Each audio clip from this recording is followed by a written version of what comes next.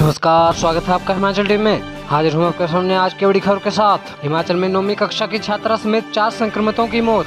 24 घंटे में 202 नए पॉजिटिव मरीज़। हिमाचल प्रदेश की कांगड़ा ज़िले की राजकीय वरिष्ठ माध्यमिक पाठशाला सलेटी की नौवीं कक्षा की कोरोना पॉजिटिव एक छात्रा की मौत हो गई है। कोरोना से जिस छात्रा की मौत हुई है, वह हमीरपुर मेडिकल कॉलेज में उपचाराधीन थी। स्कूल खुलने के बाद 27 सितंबर से 21 अक्टूबर तक 126 विद्यार्थी पॉजिटिव आ चुके हैं, जबकि मौत का पहला मामला है। विभागीय अधिकारियों ने बताया कि जिस छात्रा की मौत हुई है, वह 12 अक्टूबर से स्कूल नहीं आई थी। विभाग ने एहतियातन स्कूल में छात्रों और शिक्षकों के अलावा आसपास के क्षेत्र में एक सौ उनसठ लोगों की कोरोना की जाँच की है। स्कूल को 48 घंटों के लिए बंद कर दिया गया है। सीएमओ कांगड़ा डॉक्टर गुरदर्शन गुप्ता ने बताया की एहतियातन तौर पर विद्यार्थियों शिक्षकों व गाँव के लोगों की कोरोना जाँच के लिए एक सौ उनसठ सैंपल ले लिए गए हैं। जिनकी रिपोर्ट शुक्रवार को आएगी। उधर सैनिक स्कूल सुजानपुर में दो विद्यार्थी भी संक्रमित हुए हैं। इसके अलावा गुरुवार को तीन और लोगों की मौत हो गई।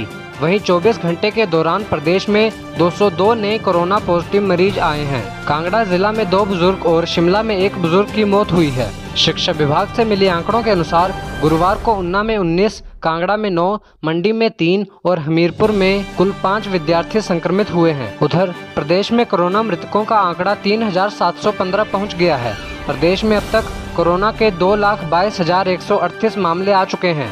इनमें से दो लाख सोलह हज़ार नौ सौ चौवन ठीक हो चुके हैं। कोरोना सक्रिय मामले एक हज़ार चार सौ बावन हो गए हैं। इनमें से बिलासपुर ज़िले में नब्बे, चंबा बारह, हमीरपुर तीन सौ तीन कांगड़ा पाँच सौ तेईस किन्नौर नौ कुल्लू उनतीस लाहौल स्पीति शून्य मंडी एक सौ तिरासी शिमला अठासी सिरमौर शून्य सोलन उनतालीस और उन्ना में एक सौ छिहत्तर सक्रिय मामले हैं। बीते 24 घंटों के दौरान 140 मरीज़ ठीक हो गए हैं और कोरोना की जाँच के लिए 7,105 लोगों के सैंपल लिए गए हैं। वहीं सिरमौर ज़िले के बाद अब लाहौल स्पीति भी कोरोना मुक्त हो गया है।